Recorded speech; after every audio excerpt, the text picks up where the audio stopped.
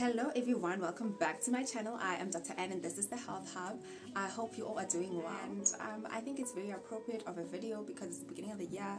A lot of people just recently got placed um, even though it doesn't shy away or it doesn't take focus from the situation that's currently happening, especially with placements, especially of people post ComServe. I know that there's also struggles with placements for um, internship. I think it's really, it's really, really a big issue that's currently happening, especially that medical doctors are having to face because job security was never an issue um, for medical doctors. We were, you know, you'd graduate, you'd automatically place wherever. Um, after placement for internship, you'd automatically be placed wherever for ComServe. Um, and then from ComServe on, onwards, basically whatever hospital that you'd be working in would automatically absorb you. So I honestly, um, honestly, it's, it's really bad that at this point in time, there's no guarantees. I think another thing that sparked a lot of the, the problems is the fact that um, universities increase their quota in terms of the number of medical students that they're taking. Um, most students at some point were taken to Cuba to study medicine. So now you can only imagine um, that the government puts an effort in, you know, making sure that there's more doctors that are taken to schools, but then um, no hospitals are built. They're still working with the same number of hospitals. We're still working with the same number of clinics, same number of posts, or even less. It's not that way we're currently working. Um, there, you know, there, there's a lot of doctors. There, no, there, there aren't doctors at all. So even as is, it's not a matter of you know that there's you know the, the, the whole industry is saturated because there's a lot of us. It's just a matter of the government you know allocating the funds and creating more posts more posts for hospitals more posts in clinics so that there's doctors working in primary level healthcare uh, more doctors in you know community healthcare centers or CHCs so it's a matter of the government just making sure that they fund for posts because there are doctors there are doctors who are willing to work who are unemployed sitting at home. So with that being said today i'll be talking about comserve and what to do to make sure that you are absorbed by your current hospital? I know i know. It's like there's no formula to it. I know that even even if you do the most like you could still end up jobless or unemployed, even if you've done all of the things that I've been mentioning. But I think it's things just to take note of and to consider when going into ComServe, things that may be of benefit in assisting you getting absorbed by the hospital where you're currently working or just giving you a competitive edge over over your peers when it comes to application process after you finish your ComServe. So yeah, take note of these things. Currently the situation is that you find that the hospital will have maybe let's say 10 ComServes and only have maybe five or four post ComServe posts. So so then that is where the competition starts. That is where then you have to prove yourself and prove your your skill and adequacy. And I know it's not meant to be like that. You're not meant to have having to prove yourself because the fact that you went through six years of medical school, you went through two years of internship should show that you actually are capable. But then it's just things that to improve your overall portfolio so that to increase your chances of getting absorbed by the hospital or just giving you a competitive edge over your peers. So the first thing you can do is actually um, make sure that you don't slack during your ComServe. What do I mean by slacking? So, what I mean is that make sure that you arrive to work on time. make sure that you arrive to work. Make sure that you actually do the work when you are there. At the level of ComServe, people tend to almost forget that ComServe is also a contract. So you get two years of internship, which is a contractual agreement where you are meant to be taught and rotate through the various departments. Um, you learn, you that's where you acquire your skills ComServe, most of the time, you will be placed either in one department or you'll do maybe six months in one department and six months in another. So it's of utmost importance for you to remember and to take note of the fact that, you know, it's still a contractual agreement. You still are on a contract and you have to act like. I know that there's this whole thing of, you know, um, when when people are already like secured, they have already secured their jobs or working in government. Some won't show up for the job. Some will be late all the time. Some someone will even submit sick notes without being sick. So that's something that tends to happen a lot, you know. And I just want you to understand that you cannot do that especially when you are at the level of ComServe.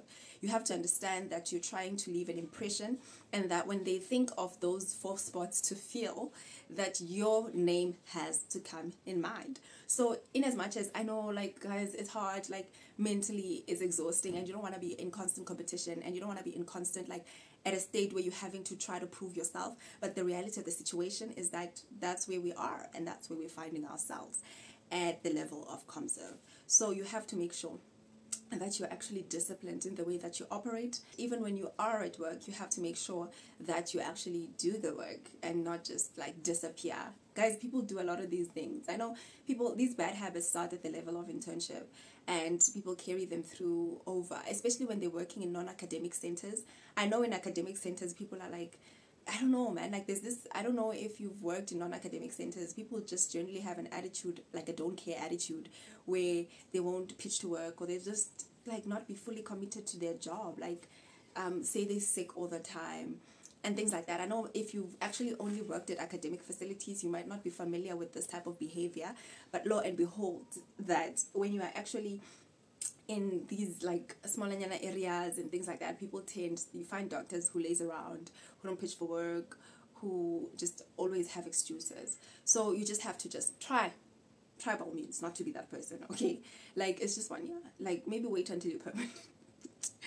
maybe wait until you're permanent, okay? And then now let us move on to the second thing that you have to do. Make sure that you expand or equip your resume with um, with the courses, right?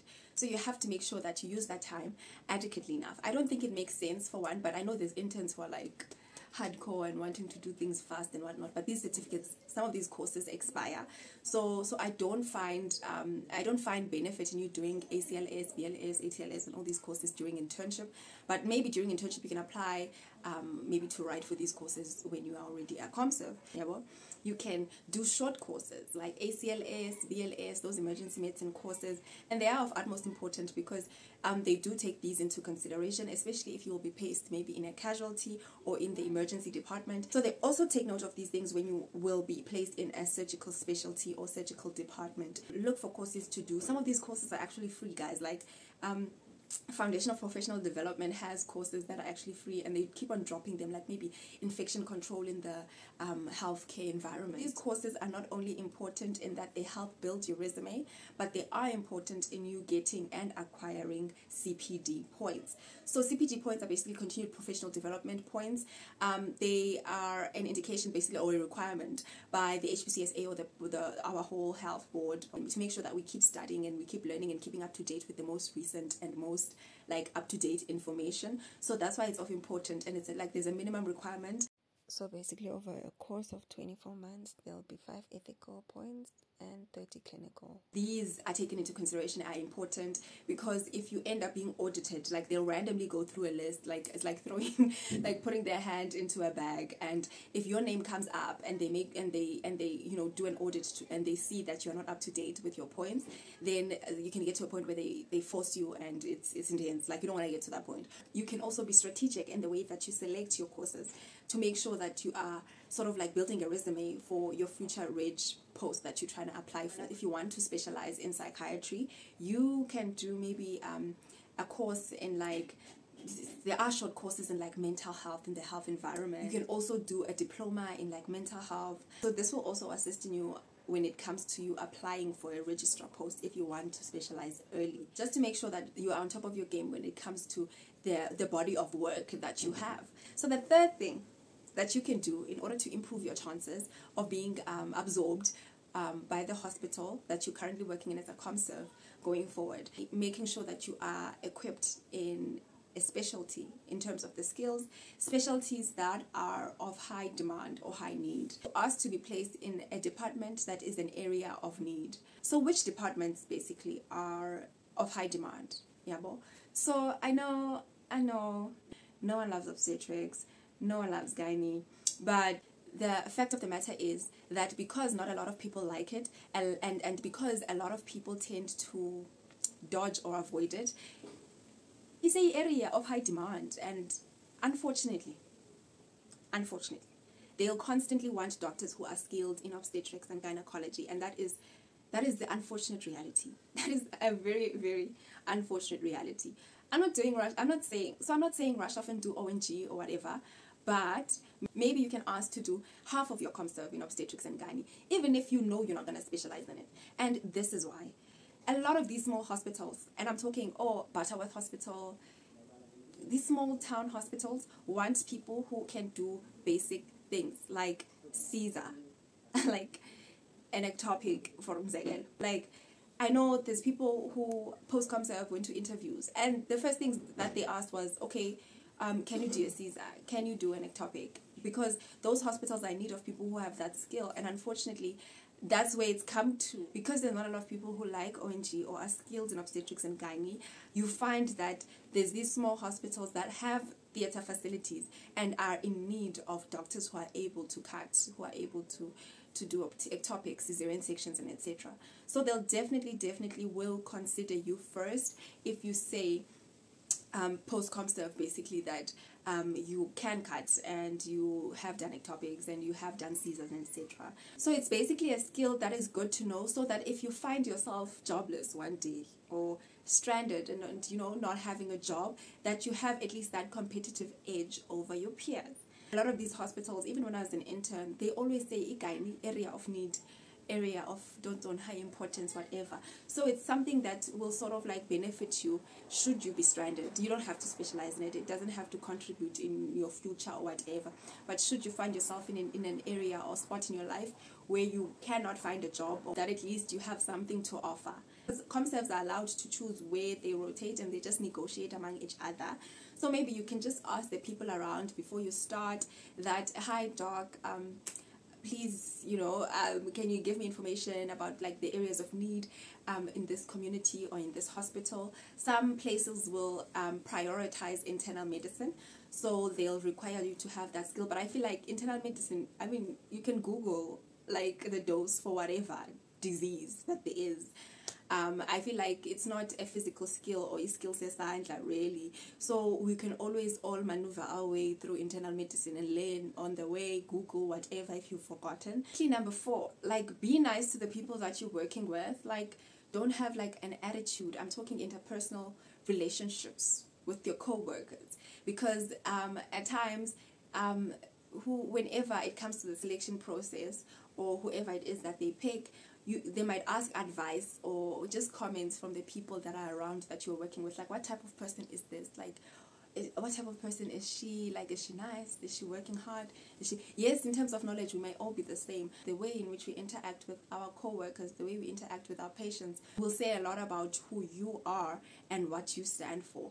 So it is important that you also form relationships don't be i'm not, saying like be friends with people whatever but it's important that you are in good terms with the people that are around be it nurses be it like x-ray people be it tonton you have to be in good terms even when it comes to being you know in good terms with management. Because even in management like they also contribute and also play a role. You find that one of the panelists is basically your clinical manager yeah so so it is of utmost importance that you take notes of the way that you interact with people. The last thing is I don't think it's the most important thing, but I think it's, it also plays a role in whether or not you get absorbed at the hospital. And that is how you perform during that interview. Now, I've never been eh, in, in any interview panelist, I don't know the kind of things they ask and whatnot, but I think the most important thing is to make sure that you are confident and that you are prepared when it comes to the interview so that you are able to speak for yourself and you know, able to defend yourself and defend your knowledge and defend, you know, everything that you stand for when it comes to to you expressing yourself and basically explaining to them, you know, giving them reasons why they should take you. But I feel like the interview is just like um, formality. Sometimes the interview is just a formality. So so everything else comes first, whether you are availing yourself.